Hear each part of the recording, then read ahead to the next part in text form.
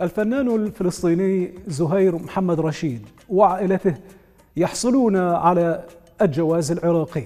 خبر انتشر بسرعة انتشر كالنار في الهشيم عبر منصات التواصل والمواقع الإلكترونية في العراق لكن ما مدى صحة ودقة هذه المعلومة؟ فبعد حصول الفنانة زهراء بن ميم على الجنسية العراقية انطلقت حملة واسعة منذ أيام تطالب الجهات المسؤولة في العراق في الدولة وكذلك وزارة الداخلية لمنح زهير محمد رشيد وباقي الفنانين من الأصول الفلسطينية منحهم الباسبورت والجنسية العراقية تكريما لما قدموه لجمهورهم ومحبيهم ولما قدموه للعراق أيضا في عالم الفن. وبعد الضجة والضغط الشعبي نشر نجل الفنان آه، زهير محمد رشيد نشر بوست وأرفقه بصورة تجمعه بوالده وبمدير الأحوال المدنية وجوازات اللواء رياض الكعبي.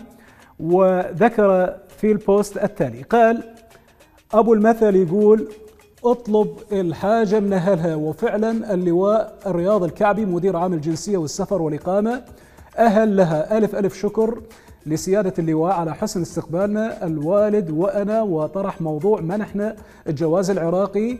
على دولة رئيس الوزراء ومعالي وزير الداخلية وإن شاء الله تكون الموافقة بخصوص هذا الموضوع. وفعلا أكون آه، أكو ناس تحب تقدم الخير والمساعدة وربي يحفظ عراقنا وشعبنا من زاخو للبصرة.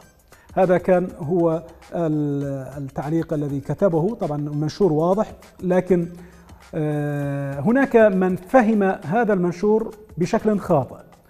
فإلى غاية الآن لم تحصل عائلة الفنان على الجواز العراقي. فكل ما هناك هو طرح الموضوع فقط على السيد محمد الشياع السوداني رئيس الوزراء العراقي وكذلك وزير الداخلية. وهم بانتظار الرد بانتظار الموافقة. هم لم يحصلوا الآن على الباسبورت العراقي حتى هذه اللحظة. لربما تصدر اليوم أو تتم الموافقة ربما غدا لا نعلم. ربما بعد أسبوع على العموم نتمنى وهم يستحقون ذلك فعلا. يستحقون أن يحصلوا على الباسبورت والجنسية العراقية لما قدموه للفن العراقي طيلة السنوات الماضية. لعقود من الزمن من الأعمال الفنية الكوميدية والأعمال الهادفة الجميلة. وحول إمكانية حصول عائلة الفنان زهير على الجنسية العراقية ذكر عمار معاناته مؤكدا أن الأمر ليس سهلا كما يظنه عدد كبير من العراقيين بل يحتاج إلى تشريع قانون في مجلس النواب العراقي. هي موضوع الجنسية ليش أنا صار يومين شوية يعني دالح عليها؟ موضوع الجنسية لين أنا عايش بالعراق يعني هواي تخدمني بالبلد يعني. إذا اريد أشتري أي شيء هسه بالوقت الحالي إذا اريد أشتري أي شيء ما أقدر أسجله باسمي. ليش؟ لأن القانون والدستور شو يقول؟ إنه أي عربي ممنوع يسجل أي شيء باسمه. فمع الأسف أنا هذا القانون ينطبق علي آني. زين. إنه أنا كل شيء أنا هسه SIM card ما أقدر أسجل باسمي. يعني توقعوا إنه آني ولادتي ولاد أبوي بالعراق إذا أشتري سيم كارت ما أقدر اسجله باسمي إلا باسم زوجتي أو أي شخص عراقي. زين. فآني هذا الشيء هو اللي خلاني ألح على موضوع الجنسية. ولو هو هذا الشيء طبعا حلم.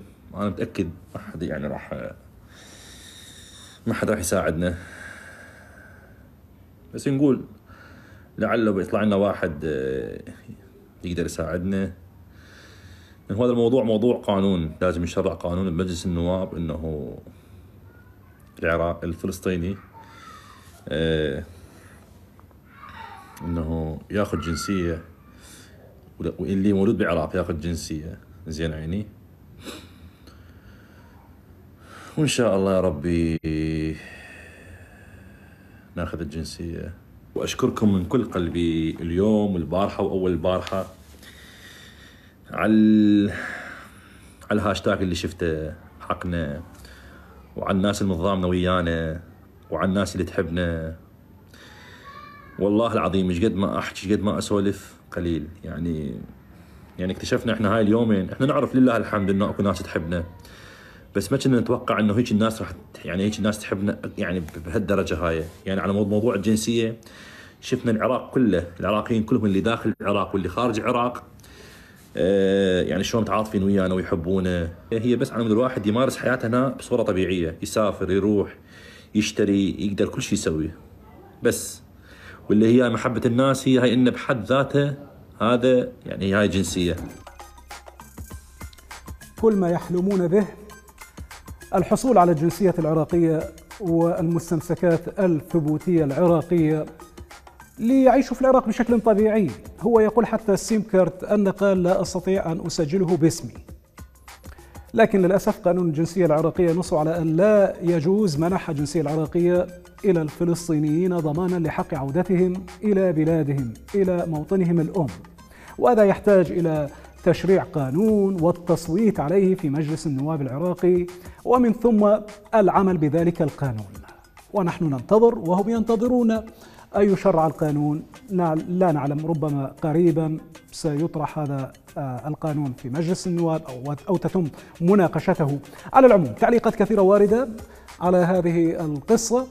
وسنبدأ التعليق الأول مع الفنانة ميلاد سري قالت في تعليقها مبروك لكم تستهنون الجنسية هم مو بس الجواز أيضا تعليق آخر من شهد طالب تقول ألف مبروك والله العظيم فرحتنا أو فرحتنا وكل الشكر والتقدير لهذا الإنسان الطيب. اللواء على حسن وعلى حسن استقباله والله يكثر من أمثاله. تعليق آخر من هدى محمد تقول القانون لا يسمح للأخوة الفلسطينيين بأخذ الجنسية العراقية مهما طالت الإقامة بسبب أمل العودة لبلادهم كل التقدير لإخواننا الفلسطينيين وماكو فرق بين إحنا أخوة بجنسية أو بدون جنسية. تعليق من آفاق آه، المحمدي يقول عفيه ليش محسسيني إنه الجواز السنغافوري ولا الإماراتي؟ انطي جوازي ونخلص.